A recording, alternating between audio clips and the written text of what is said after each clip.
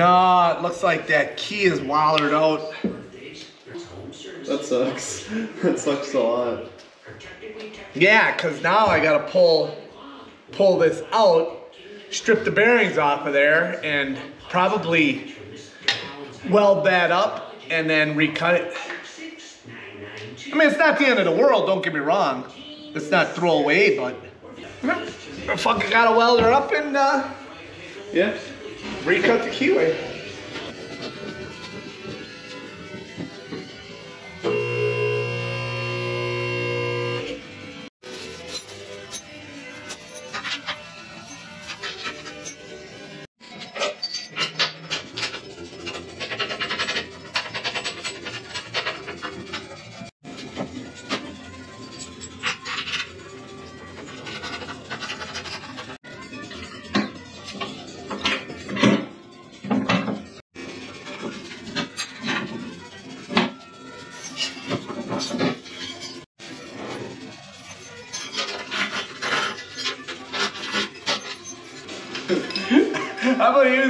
Hook.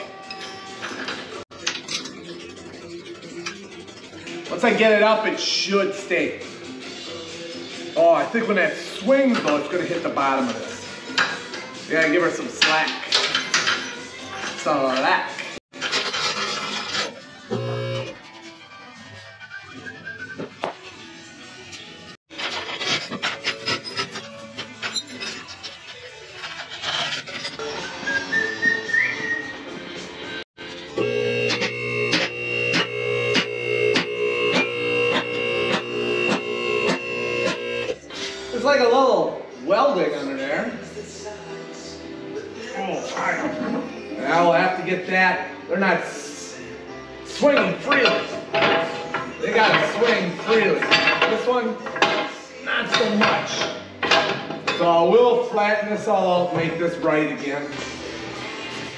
Got the big old Milwaukee three quarter hammer slammer.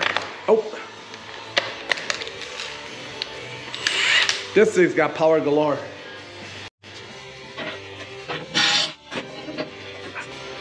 Lock nut, inch and 5 sixteenths. They got keyed slots so that this bolt doesn't spin inside there. So they got that key to go in that keyed slot. These blades, they've seen some better days. And then it's shouldered so that it allows that blade to spin. And it's fine thread. Lots of stuff. That's a little cotter pin for this job. Wow.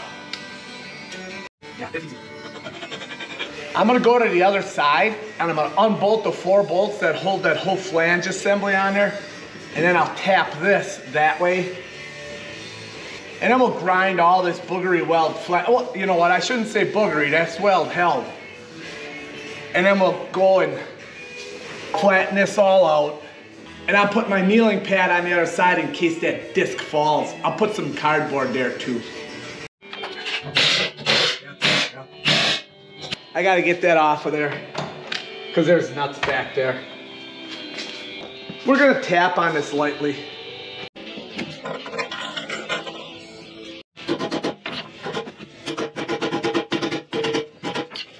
Ah, that's kind of what I figured as well.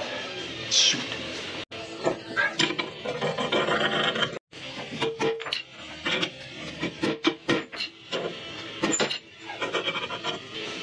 I don't know if she's moving. After I'm done whaling on it, I'm probably gonna need new bearings. I wonder if I could go in here and pull right on that. Just hook there. That's a solid piece of steel. Yeah, that's a solid piece of steel. So I think what I'm gonna do, uh, as soon as I get this off there,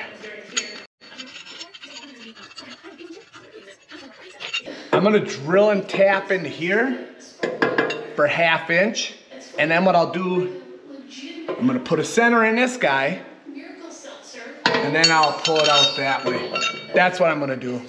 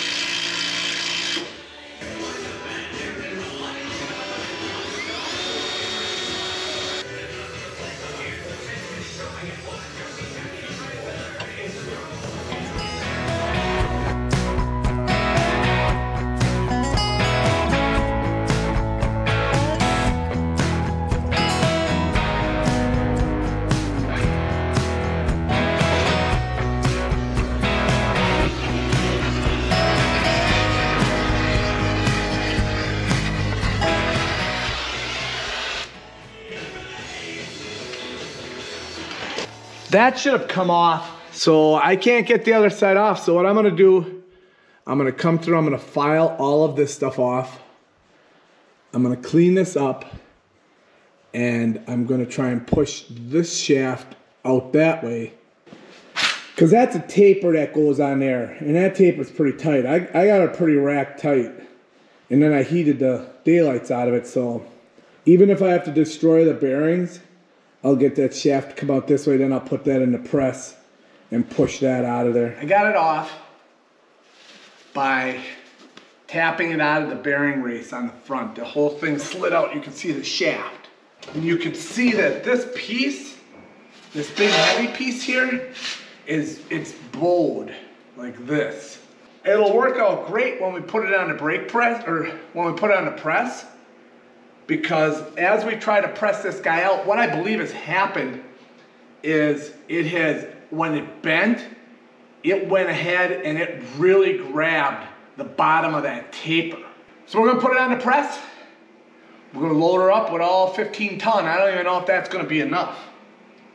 I may have to get in there and really heat the daylights out of this cherry red it, only in a spot, probably right in here, and get that baby to bowl back up. That's gonna be nerve wracking as well because I don't wanna ruin any of the threads. So I'll probably put the castle nut back on, put a plate or a plug or something on there so they can all share that load. We're getting there. This thing is all good fun to fix. Oh, just, just fits.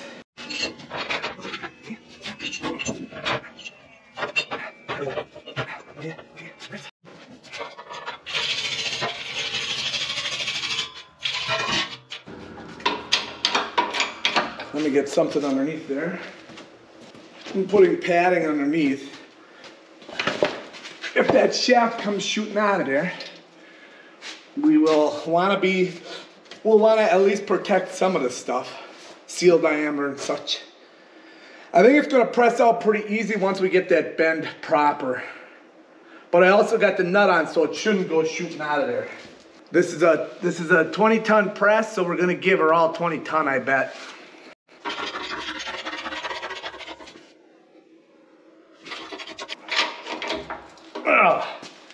We're getting a lot of pressure. Well, it's gotta come out. It can't not come out. But we're loading her up with everything she's got. Now I'm gonna just throw heat in there. We're gonna give it a little more. And now we're gonna give her some heat.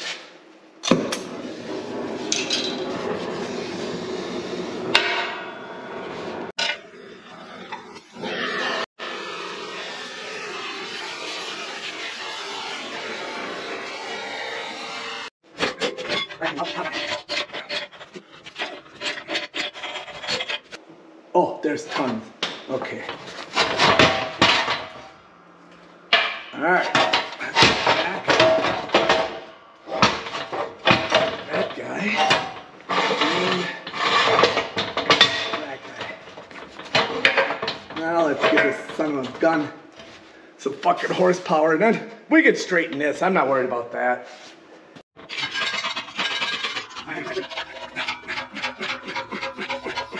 Uh, we're probably destroying this shaft. And I'm gonna have to do some remaking.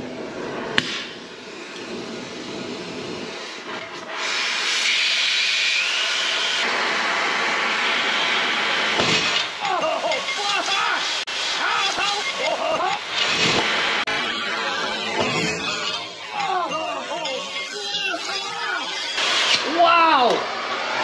Wow! That was in there. Holy moly, did you hear We got her. Wow. that came out like a gunshot. Woo! That's why you put something spongy. You look at that, it cut a darn near perfect hole in there where it hit. It came down hard, really hard. There's a lot of pressure. You can see how discolored the uh, taper is. So I had plenty of heat in there. I, I probably overheated it. Um, obviously, we're going to do all new bearings. We'll clean this up, polish it up. Sometimes that's what it takes. So I did put a gigantic bend the other way in the blade holder, but that we can push out. That's easy to bend back. All right, I gotta wait for that to cool. I'll get it all cleaned up, get the bearings pushed off, and then we'll go over the, the, the shaft itself. That took a lot of pressure. All right, well, we have some bad news. This shaft, you can see it's all fretted up. It's been working in there. Uh, and this bore, so it should be one inch 375, and that's no good. So today, what we're gonna do, we're gonna take, put this in the lathe, we're gonna straighten it out and get a good diameter on there, a straight diameter, and we're gonna measure it. Then we're probably going to turn this until it cleans up, and then we're gonna determine whether we're gonna make a bushing or we're going to weld this and then turn it down.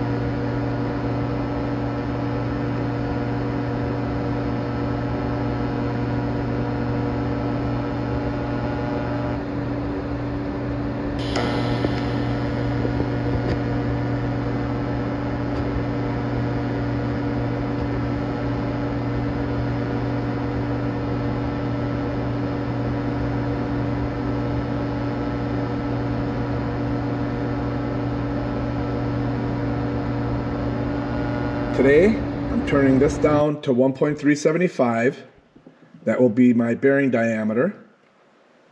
Then I'm going to open this bore up a little bit more and I'm going to make a sleeve and then weld it into place and then turn this to maybe 1.376 just so that it's a slip fit between my shaft and here.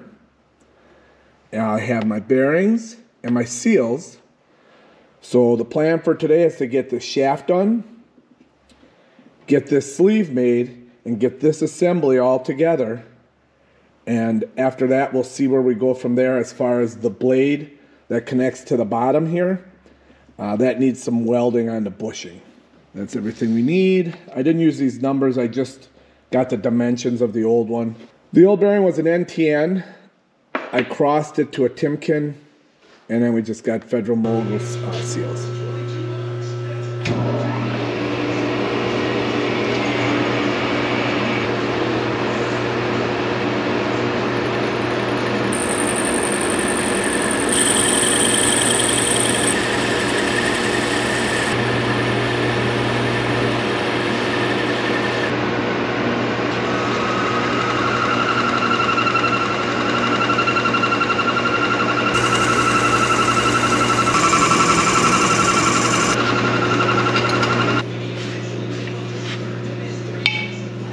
this is now 1.625 in diameter.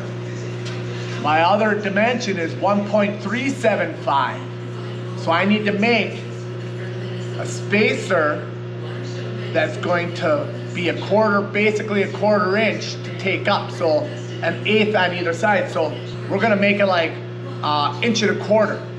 Weld it in place, and then we'll go through and we'll open it up All right, we gotta turn this down to one inch 625 and it's at two and a half. So we need to do it for an inch and one hundred thousandths, which is the thickness of that um, pulley. We need to first go about 800 thou, so that's gonna be, oh wow. If I take a 100 thou a crack, that'll be a lot. All right, let's whittle this down. oh.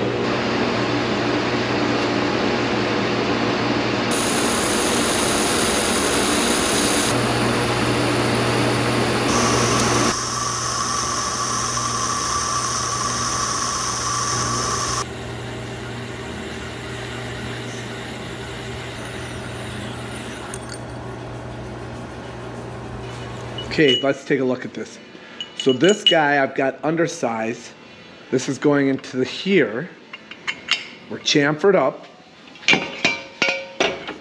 Then once I get this welded in, I made these grooves in here to weld to the hub.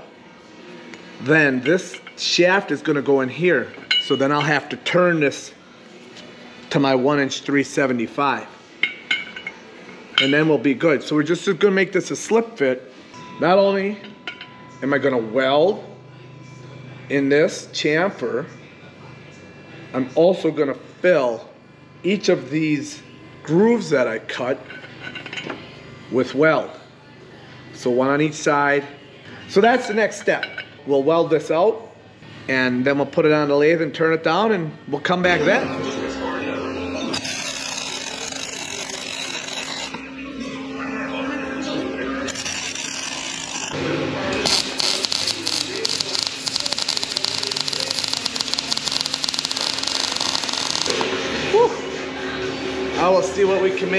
Look like.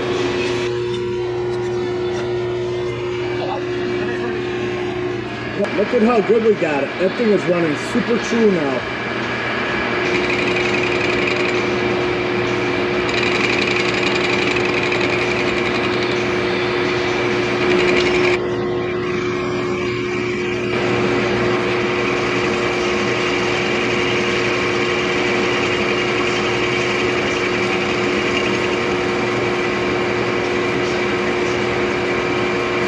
Bearings, Timken.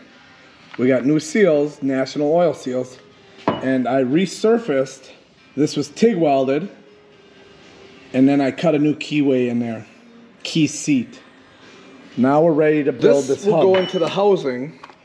This is the top, this is the bottom. So we have to put this shaft in this way. So this cup will go into here, like so and then this bearing will go in like this, like that. So this first bearing has to go on like so. And let's see. No, it's not gonna allow us to just push it down. Okay, let's try and pound this on. We're just, we're gonna stay on the inner race.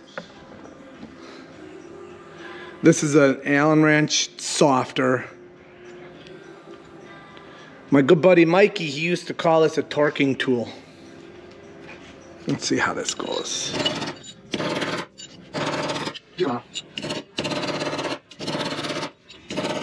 Then this guy goes on there, like so. And this, this is gonna go in this way. Right, and then that pulley will be up there. So I should probably get this inner race in there.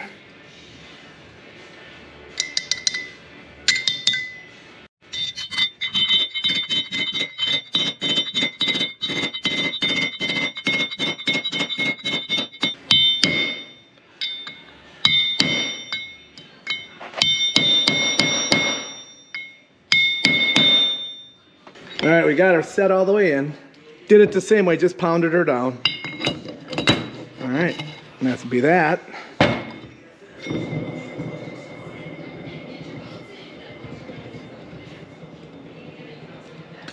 So this race is gonna go in this way, and then this bearing is gonna drop on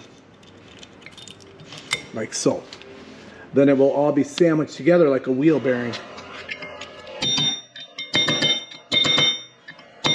And you can hear how it changed in tone. So we know that's down there. So now we can slide this guy in. Okay. Put that guy there. Perfect.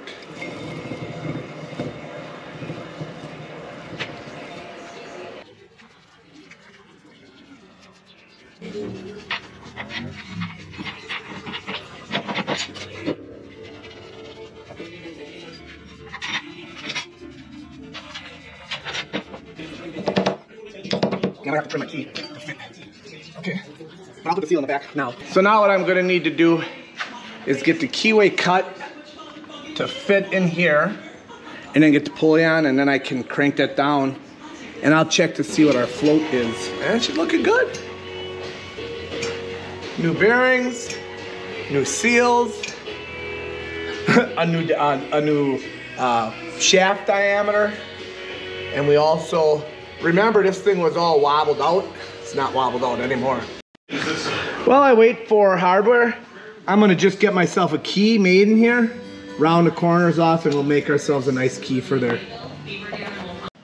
All right, there we have it. Key is in and looking good. Today I'm figuring out whether I'm going to put preload into this bearing assembly or if I'm going to put some float. That's tight. That tight. There's no preload. Or that's preloaded. I just don't know how much. Okay, so what I'm gonna do, I'm gonna turn a little bit off of this face. So if I take a little bit off here, I'm gonna sneak up on it. I'll take a little bit off, check it, take a little bit off and check it until I get maybe one or two thou with the nut tight. Then what I can do is I can make, or I can put shim stock back here on this, slide it over, and put shim stock at, say, five thou. Then I know I have three thousandths of, of load, preload. This is spinning at 984 RPM. It's still arbitrary, see? I could spin it just fine. And if it were under preload, it wouldn't spin. So it may be just at, it may be just at zero or one preload. I'm gonna pull another five out of here. I feel a little rocking back and forth, which means we have some float now. I only took off five thou, so I'm kind of a, I kind of should have left it the way it was on that last one. Now it's super, now it spins like super free. We're gonna put this on and we're gonna do the best we can to get a decent reading on float. There it is. So it looks like we got anywhere between two and three thou. So I'm gonna put a 5,000 shim in there. That's gonna give me two thou preload. And we're gonna let her rip at that. I think we're gonna be fine.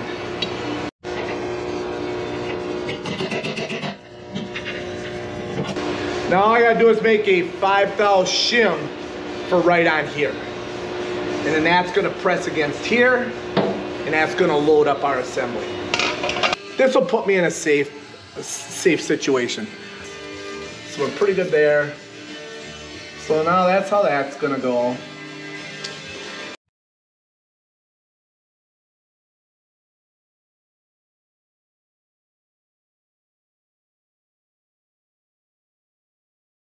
Still spins nice, nice and free. No wobble, no jumping around. We're good to go. That's it for this portion. Now we'll get the other side. We'll get the blade, uh, the blade assembly put together on the backside on that taper. And we're damn near ready to start this baby up. I'm excited.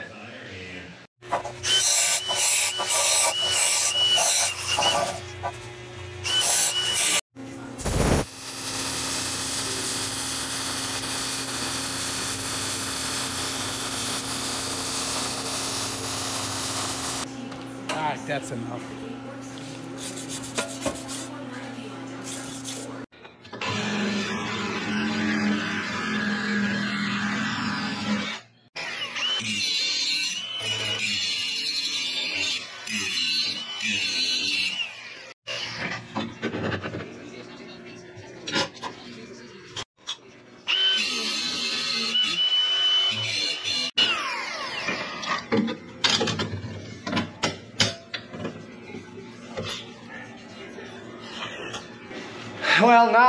I weld it into place or do I bolt it? This is so thin. If I weld it here, plug weld it here, plug weld it here, weld it underneath, I think it'll be okay.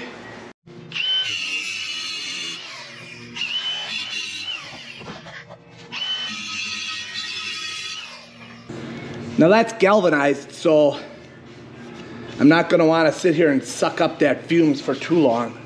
And it's so hot outside. I think what I'll do is just put a fan to blow across my breathing space.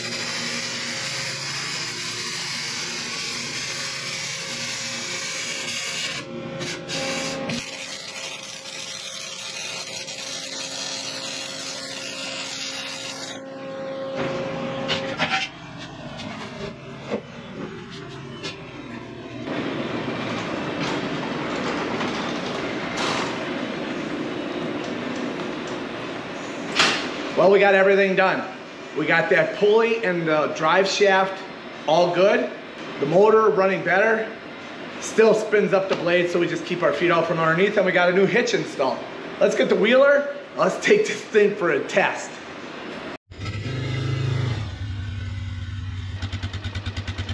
Oh shoot, that's gonna be way too high.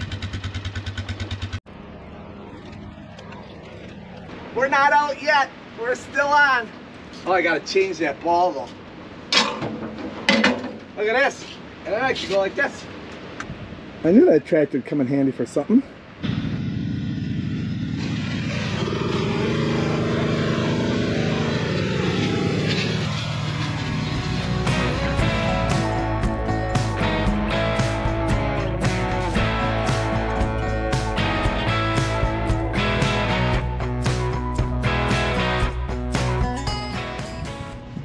Right, well, we gave the shakedown on the Rhino, the PM42.